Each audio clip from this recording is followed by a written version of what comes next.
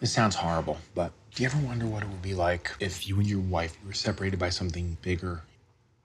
Like death, like her death? I have given it a, a fair amount of thought. Not in any painful way, but just like a gentle floating off. It's got to be peaceful. I mean, this is the mother of your children. And then the new wife would be great. God, I can't wait to meet my second wife. I hope she likes me better than this one. It's the fourth time you've gone to the bathroom today. Why is your instinct to escape? It is my instinct to come into the bathroom when I need to go to the bathroom. How come I don't smell anything? It's because I shoved an Altoid up my ass before I came in here. Don't press enter. I'm not sure I want to make that move. Stop it! This is BS. This is a bunch of effing S. You're acting like a bee. You're so mean since your body got weird. Isn't the music industry kind of a tough game these days?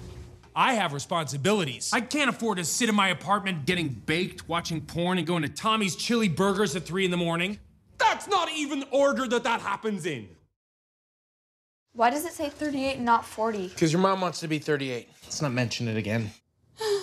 It doesn't seem like our lives should be this much work. Their daughter told my son he looked like Tom Petty in a negative way. Who's Tom Petty? You know who Tom Petty is. Catherine, control yourself. This is what happens when you corner a rat. I'll chew through you. We're gonna blink and be 90. What? We have to make a choice to make things different.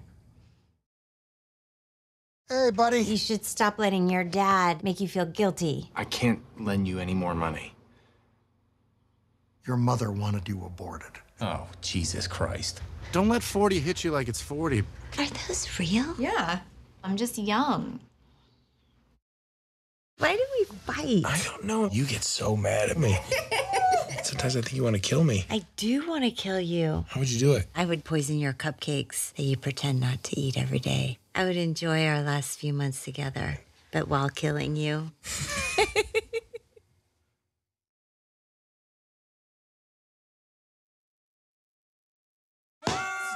They love you because you're the fighter. One person in a relationship's got a punch.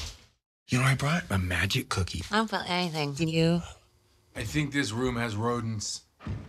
Just saw it. Have you seen my starfish? Where'd I put my starfish?